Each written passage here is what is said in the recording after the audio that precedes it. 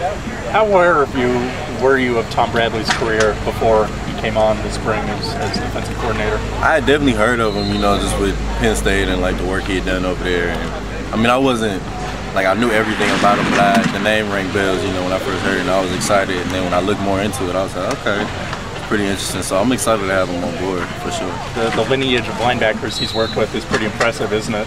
It's definitely impressive. You know, uh, just the first rounders and just the people he's put out in general, just underneath him. I mean, it's, it's impressive, and I'm excited to, you know, hopefully be one of those types of people that, that come out under his name. You know. Um, he brings wisdom, you know, to our to our program, and just the way he talks and the way he talks about just, I mean, just the way he carries himself. You know, like you just you just have to show respect, and you know, um, I'm happy to have him. You know, uh, I think it's a cool, um, say, replacement for Coach Brick, who's moved on to the NFL. So I think I think it's a good I think it's a good hire by Coach Mora for sure. Guys, Dion's got an early class, so whoever needs him, uh, let's just kind of break it up. We got Nate, him, and so just get who you guys want. Okay. That was an awkward skip.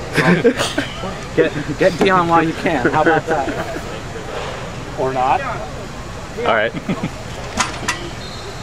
Um, how does how does Coach Bradley? How is he different from Coach Brick in the way that he works with you guys? Um, it's just two different styles. I mean, not that one's better than the other or anything like that. I mean, it's just two different styles. You know, uh, Coach Bradley, uh, he's definitely older than Coach Brick, so I mean, he's he uses words a little bit less. I mean, Coach Brick's a very energetic person. You know, uh, he brings energy to the table, whereas opposed Coach Bradley's kind of laid back. Like I said, wisdom. You know, kind of like like like a Yoda figure, kind of just sitting back and doesn't really use his words too much, but when he does, it means something. You know, not to say that Coach Brick didn't or anything like that. It's just two different styles of people. You know, so um, I think he's a great great pick for us. So I'm excited.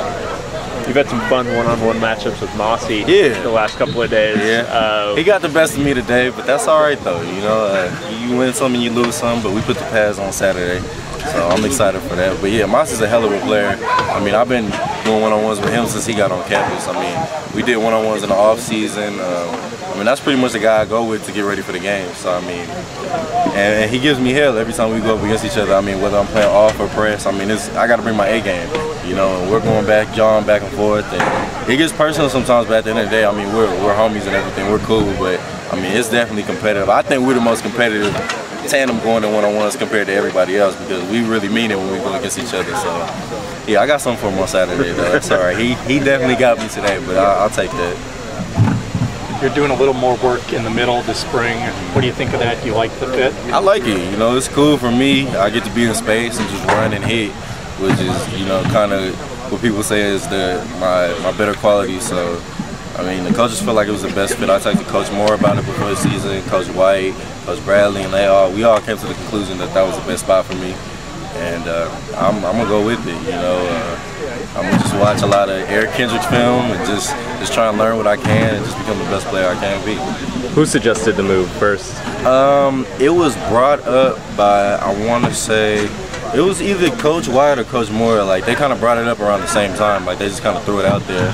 I was like, all right, you know, like I told them I don't care. You know, I just want to play. Like as many positions I play here, like it doesn't matter. I'll switch another position, so it's whatever. But yeah, I, I I don't care. You know, as long as I'm on the field, just helping my team win, and just I, I really don't care. You know, I can make it work. I can learn a new spot.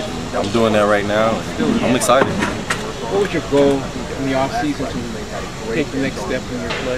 I think my goal is really more of a mental approach. You know, uh, spending time kind of really learning things. You know, um, I don't want to say like I'm already there athletically or anything, but I felt like you know, as a younger guy, like kind of getting here and finding success so early.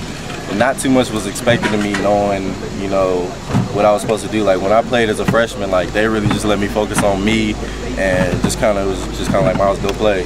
And now that I'm older, like I have to take that role as knowing what other people are doing and knowing the defense and speaking up and being vocal and just you know taking it to a whole nother level where if you put me on that board, I know what everybody's doing. And that's kind of where I'm still working. Like it's, it's new for me, you know, and everything. And I'm gonna get better at it, but I just stay in Coach White's office and just learn different things every day.